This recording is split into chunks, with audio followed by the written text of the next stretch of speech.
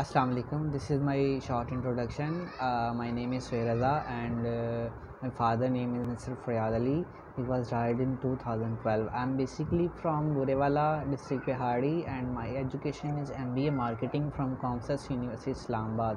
Except this, I have recently completed my MS degree from Beijing International Studies University, China, and uh, my experience background is total 5.5 years of experience with two different sector with banking sector and automobile sector.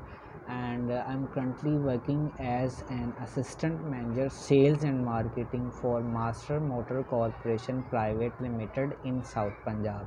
I'm currently based at multan and uh, i'm looking for this opportunity to pursue further studies uh, I means for PhD levels. I love to work with educational sector to pursue uh, more research skills and to pursue my PhD degree.